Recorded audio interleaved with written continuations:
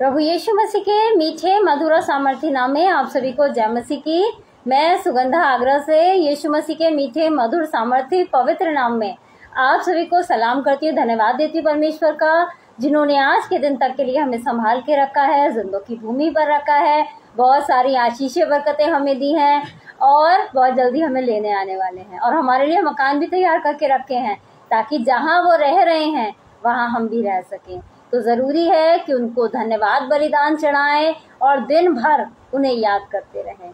तो इससे पहले कि हम वचन में जाएँगे, आराधना स्तुति में जाएँगे, मैं अपने हस्बैंड अनुराग जी से अनुरोध करना चाहूँगी कि वो आए और आके प्रार्थना में हमारी अगुवाई करें।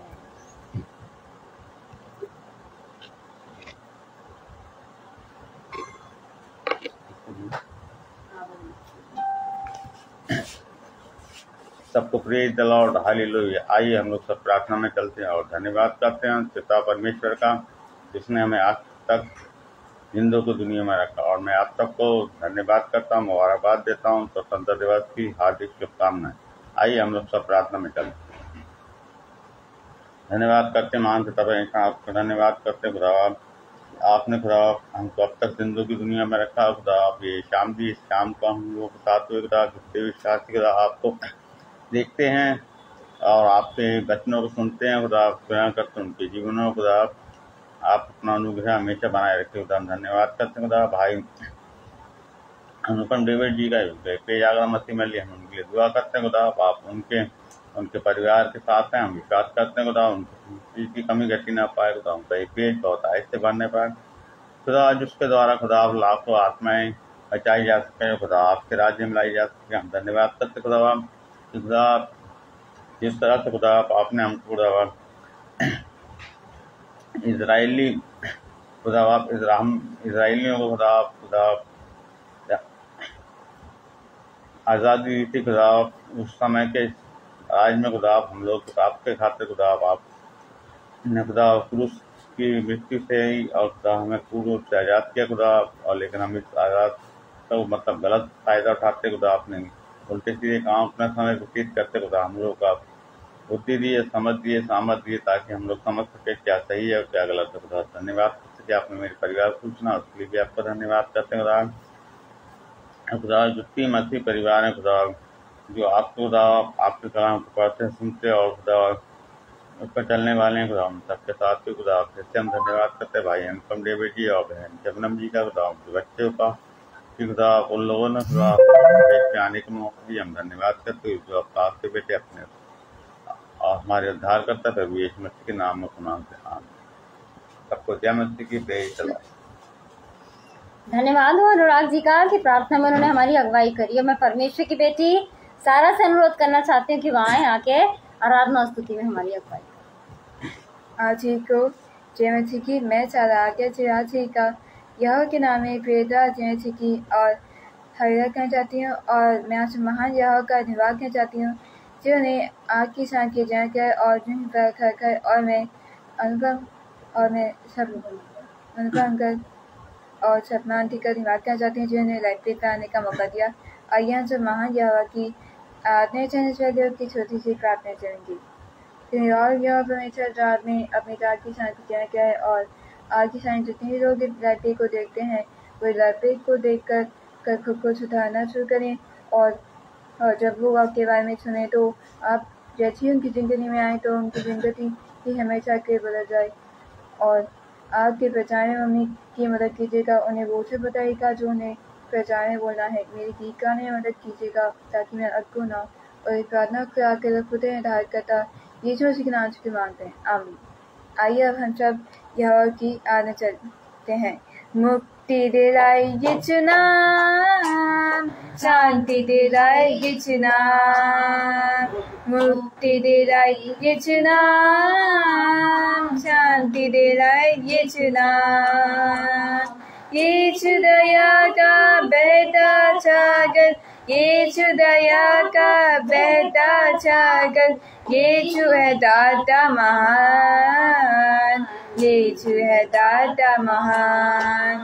बोलो, मुक्ति दिलाए ये चुना शांति दिलाए ये चुना बोलो, मुक्ति दिलाए ये चुना शांति दिलाए ये चुना शांति में तूने जन्म लिया यीशु चरनी में तूने जन्म लिया यीशु चूरी पकिया विचराम चूरी पकिया विचराम बोलो, मुक्ति दिलाए यीशु नाम, शांति दिलाए यीशु नाम। बोलो मुक्ति यीशु नाम शांति दिलाए ये चुना शांति दिलाए ये चुना शांति दिलाए ये चुना बिन तेरे मैं कुछ भी नहीं। बिन तेरे मैं कुछ भी नहीं। यहोवा। मुझे तेरी ज़रूरत है, यहोवा। मुझे तेरी ज़रूरत है। प्यार तू करता इतना, प्यार तू करता इतना, मुझे हाथों में कोई सूरत है, यहोवा। मुझे तेरी ज़रूरत है। यहोवा, मुझे तेरी ज़रूरत है। तू मेरे चेहरे की रौनक और मेरी खूबत। तू मेरे चेहरे की रौनक और मेरी खूबत। हजम तो जरा के बाद छा, तुझे है मेरी जीनत। हजम तो जरा के बाद तुझे है मेरी जीनत। तेरे बिना ये ज़िंदगी मेरी, तेरे बिना ये ज़िंदगी मेरी। ये यो यो यो छोड़त है यहोवा। मुझे तेरी ज़रूरत है यहोवा। आ मुझे तेरी ज़रूरत है। यहोवा, मुझे तेरी ज़रूरत है। आज को यहोवा के नाम में जय मची की। धन्यवाद हो सारा का कि उन्होंने आराधना स्तुति में हमारी अगुवाई करी। Praise the lord Oliver ji. और इससे पहले कि हम वचन में जाएँगे, आइए कुछ देर अपने सरों को झुकाएँगे और विश्वास करके बैठेंगे कि आज जो भी हमारे मनों में क्वेश्चन है, सवाल है, परमेश्वर वो हाँ और आमीन में जवाब देने पर है और हमारी सारी प्रार्थनाओं को सुनने पर है। आइए प्रार्थनाओं में अपने सरों को झुकाएँगे। धन्यवाद धन्यवाद धन्यवाद देना चाहती हूँ परमेश्वर पिता, एक बार फिर मैं तेरा धन्यवाद देना चाहती हूँ दिन भर की आशीष बरकतों के लिए। धन्यवाद देना चाहती हूँ समय के लिए परमेश्वर। जो तूने हमें से हर एक को दिखाया है परमेश्वर। और धन्यवाद देना चाहती हूँ एक बार फिर खुदा बाप अनुपम भैया और शबनम भाभी का भी खुदा बाप जिनका ये लाइव पेज खुदा आगरा मसी मंडी है परमेश्वर। इस पेज को तू बहुतायत के रूप में आशीषित कर परमेश्वर। और इस पेज के द्वारा खुदा बाप जितने भी लोग जुड़े हैं परमेश्वर, वो सब लोग आशीषित हैं परमेश्वर। हमारा विश्वास है खुदा बाप और जितने भी लोग मुझे ऑनलाइन देख रहे हैं और जो भी ऑफलाइन देखेंगे परमेश्वर, हमारा विश्वास है खुदा बाप कि जो भी प्रार्थना, विनती, निवेदन, वो अपने मन में कर रहे हैं परमेश्वर। वो तुहार आमीन में पूरा करने पर है खुदा।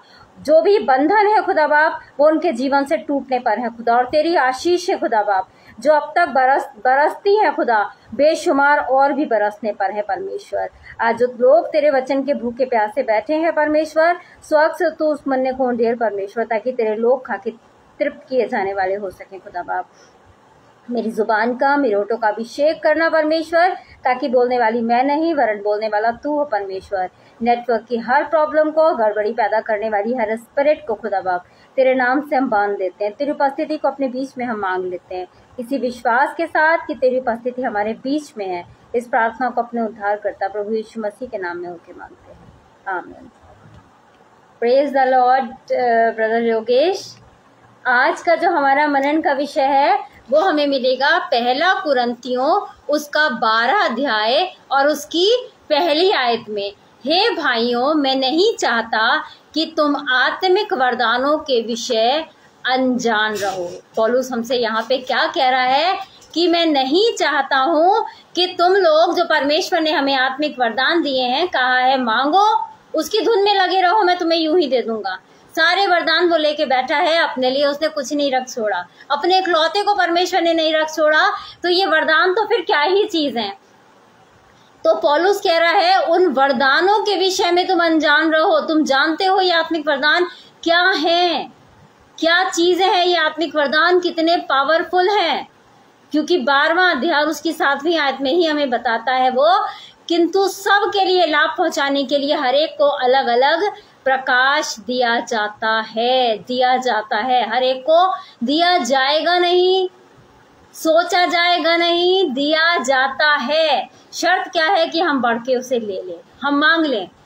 उन आत्मिक वरदानों के विषय हम अनजान ना रहे, उन आत्मिक वरदानों के विषय हम धुन में लगे रहे कि वाकई में परमेश्वर तू जो आत्मिक वरदान तूने रख छोड़े हैं, वो हमें तू दे दे। और क्या सबको लाभ मिलता है? उससे ये नहीं कि अगर हमें आत्मा का वरदान मिला है तो केवल हम ही लाभान्वित होंगे। नहीं। बहुत सारे लोग, क्योंकि आत्मा के, जिस तरह आत्मा के नौ फल हैं, उसी तरह आत्मिक वरदान भी नौ है। पहला कौन सा है? बुद्धि का। हम लोग क्या कहते हैं? कह रहे हमारी बुद्धि काम नहीं करती, जब टेंशन हो जाती है प्रॉब्लम हो जाती है, हमें समझ में नहीं आता, हम क्या करें? हमें, हमसे हमसे मत पूछा करो, कोई राय, हमारे पास इतनी बुद्धि नहीं है। मोस्टली हम लोग ये कह के बातों को टाल देते हैं, लेकिन ये भी एक आत्मिक वरदान है। सुलेमान को मिला था। ऐसा नहीं है कि किसी को मिला ही नहीं है। तो मिलेगा भी नहीं। सबसे बुद्धिमान हमारा प्रभु यीशु मसीह था, उसके अलावा कोई नहीं हुआ है। तो यीशु मसीह ने सुलेमान को भी उतना ही बुद्धिमान बनाया।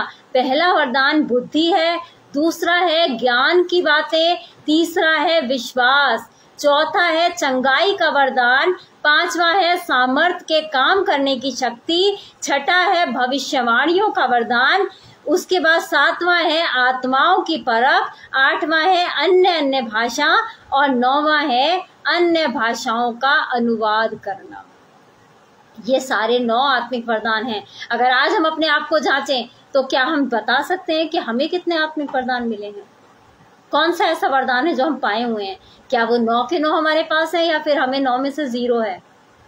ये हमें जानना है। अगर आज हमारे पास इनमें से कोई भी आत्मिक वरदान नहीं है तो परमेश्वर कहता है, कि आत्मिक वरदान के विषय में अनजान मत रहो। ये सबको दिया जाता है, तुम भी ले लो, मांग लो मांग लो। पॉलुस तो कहता है, आत्मिक वरदानों की धुन में रहो। धुन में जानते हैं आप कैसे रहते हैं? किसी बात की अगर हमें धुन चढ़ जाती है, झक, जिसे झक कहते हैं हम, झक चढ़ जाती है तो जब तक वो चीज़ हम पा नहीं लेते हैं। मतलब झक्की पना सा दिखाते रहते हैं, दीवानापन सा दिखाते रहते हैं कि ये चाहिए है तो चाहिए है तो चाहिए, कैसे उस चीज़ को अचीव करें? तो पॉलुस हमसे क्या कहता है? पॉलुस यही कहता है, उन आत्मिक वरदानों की धुन में रहो। कुछ भी मत सोचो, कुछ भी मत करो। केवल ये सोचो कि आत्मिक वरदान तुम्हें कैसे मिल सकते ये नौ के नौ आत्मिक वरदान। कितना ही धन्य, क्या ही धन्य पुरुष होगा, क्या ही धन्य वो जन होगा जिसके पास ये नौ के नौ आत्मिक वरदान होंगे। बुद्धि का वरदान, कभी भी कैसी भी सलाह ले लो, ज्ञान की बातें तो उसके पास होंगी। विश्वास, सबसे बड़ा जो वरदान है ना, विश्वास का है। विश्वास का वरदान जो आजकल हमारे पास नहीं है। हम कहते तो हैं, हम विश्वासी हैं, लेकिन हमारा विश्वास कहीं ना कहीं डगमगा जाता है, डगमगा जाता है। कि क्या तभी यीशु मसीह कहते ना अल्प विश्वासी जबकि उसके चेले उसके साथ चौबीसों घंटे रहते थे। देखते थे वो कैसे कैसे चमत्कार कर रहा है, मुर्दों को ज़िंदा कर रहा है, अंधों को आँखें दे रहा है, लंगड़ों को पैर दे रहा है, सब कुछ कर रहा है। बीमारियों को, बीमारियों से चंगाई कर दे रहा है। इतने सारे पाँच रोटी और दो मछली से पाँच हज़ार से ज़्यादा की भीड़ को तृप्त कर रहा है। उसके बाद भी उनके अंदर अविश्वास था।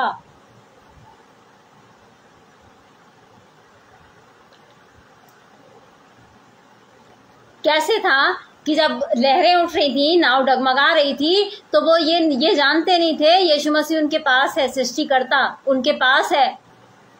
वो कह रहे थे, तू तो यहाँ पढ़ा, सो रहा है, हम डूबने पर हैं।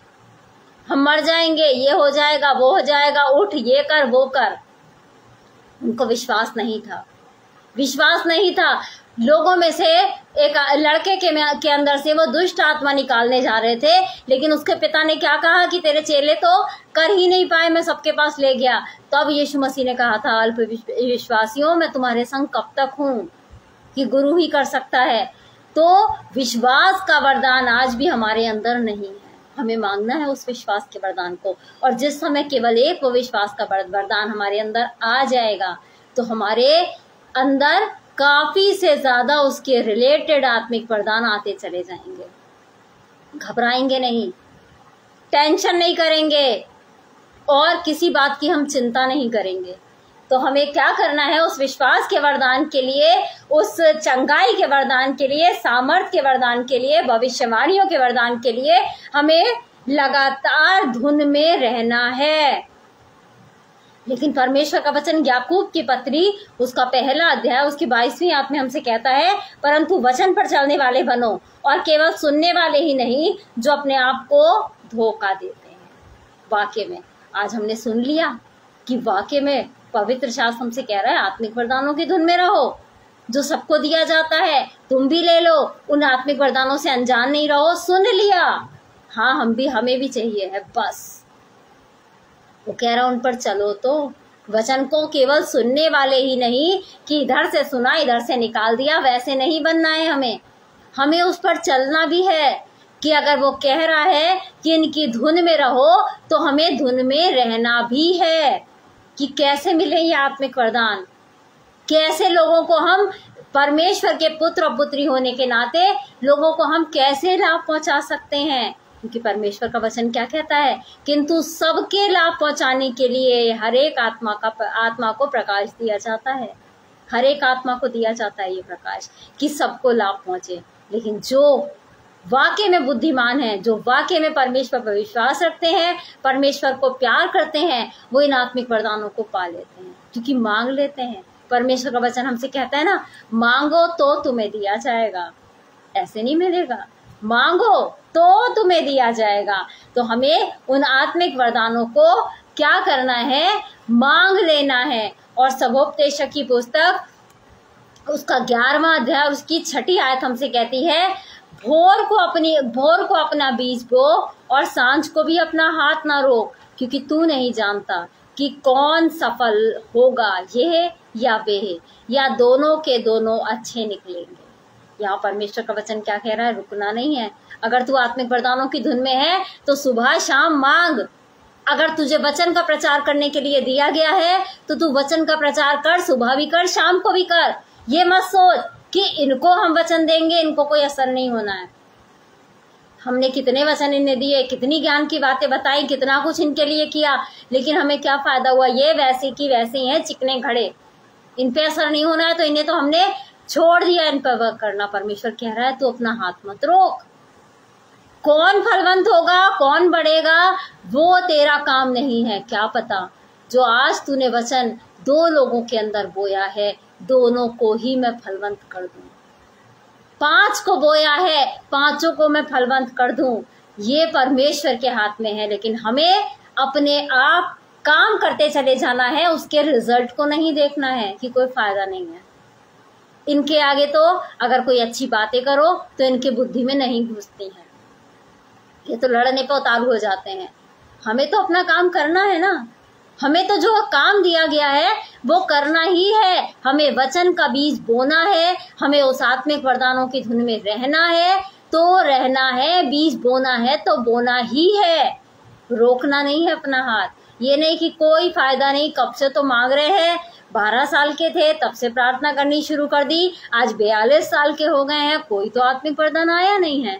परमेश्वर नहीं जान, कोई नहीं जानता, केवल परमेश्वर जानता है कि कब वो तुम्हारी प्रार्थनाओं को सुन के उसका उत्तर हाँ और आमीन में दे दे। हाँ और आमीन में दे दे। क्या पता वो आखिरी बार हो आज की प्रार्थना वो आखिरी आखिरी बार हो कि जिससे चट्टान टूट गई थी। आज की प्रार्थना वो आखिरी चक्कर हो यरीहो की दीवार का, जिससे शहर पना ढह गई थी। तो हमें रुकना नहीं है। हमें बस बढ़ते चलना है। जो काम हमें सौंपा गया है, वो करते चलना है। क्योंकि परमेश्वर का वचन हमसे कहता है, क्या कहता है? परंतु ये सब प्रभावशाली कार्य, वही एक आत्मा कराता है और जिसे वो चाहता है, उसे बांट देता है। जो आज हम कार्य कर रहे हैं, अपनी मर्ज़ी से नहीं कर रहे हैं। आज मैं प्रचार कर रही हूँ, अपनी मर्ज़ी से नहीं कर रही हूँ। परमेश्वर ने उस जगह मुझे ठहराया है। अगर आज आप मेरा प्रचार देख रहे हैं, आप प्रार्थना कर रहे हैं, आप बाइबल पढ़ रहे हैं तो अपनी मर्ज़ी से नहीं कर रहे हैं। ये वही एक प्रभावशाली आत्मा है, पवित्र आत्मा, जो सारे काम को कराता है और जिसको चाहता है, वो उसको मुँह मांगा वर दे देता है। बांट देता है, वो आत्मिक वरदान बांट देता है, वो आशीषें जिसको चाहता है उसको बांट देता है। तो हमें उस इंतज़ार में रहना है, हमें फल की इच्छा नहीं करनी है। हमें कार्य करते चलना है, कर्म करते चलना है। देने वाला वो है, बांटने वाला वो है। कब देगा, कब नहीं देगा, वो जानता है। अभी क्या पता हमारा समय नहीं आया है। क्या पता हमारा समय नहीं आया है। परमेश्वर ने वो नौ के नौ आत्मिक वरदान हमारे लिए रखे हैं। क्या पता चाहता है कि एक स्टेप और हम आगे बढ़े। एक स्टेप और आगे बढ़े और हम हताश, निराश हो जाते हैं और हम स्टेप आगे बढ़ने के बदले हम पीछे ले लेते हैं। कुछ नहीं हो सकता। अब कुछ नहीं हो सकता। बहुत टाइम हो गया, अब हम नहीं करेंगे। तो हमें निराश नहीं होना है। निराश नहीं होना है और उन आत्मिक वरदानों की धुन में लगातार बने रहना है। ताकि हम भी वो आत्मिक वरदानों को जो परमेश्वर ने हमारे लिए रखे हैं, उनको वो हम ले सकें उस नौ के नौ आत्मिक वरदानों को। और जिस समय हमारे पास वो नौ के नौ आत्मिक वरदान होंगे ना तो स्वर्ग जाने से हमें कोई भी नहीं रोक पाएगा। कोई भी नहीं रोक पाएगा, क्योंकि हमारा जीवन ही बदल जाएगा।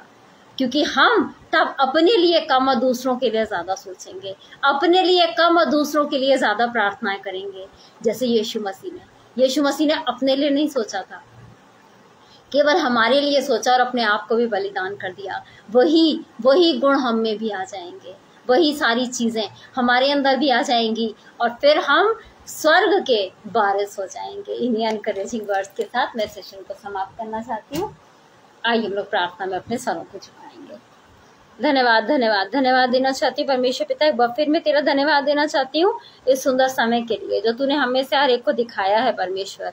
और मैं धन्यवाद देना चाहती हूँ, एक बार फिर अनुपम भैया और शबनम भाभी का खुदाबाब जिनका ये लाइव पेज आखरा मसी मंडली है परमेश्वर। इस पेज को तू बहुत आयत के रूप में आशीषित कर परमेश्वर, और इस पेज के द्वारा खुदाबाब जितने भी लोग जुड़े हैं परमेश्वर, उनकी हर एक प्रार्थना को सुन खुदा बाप उनके हर एक दुख तकलीफों को तू दूर कर खुदा बाप जितनी आशीषें तूने दी हैं खुदा बाप उन आशीषों को तू और मल्टीप्लाई करके दे दे परमेश्वर, ताकि वो जाने परमेश्वर कि हाँ हमारा खुदा ज़िंदा खुदा है और सब कुछ देने वाला सामर्थ्य खुदा है। मैं प्रार्थना करना चाहती हूँ खुदा बाप ऐसे लोगों के लिए खुदा बाप जो बीमारी के बिस्तरों पे है परमेश्वर।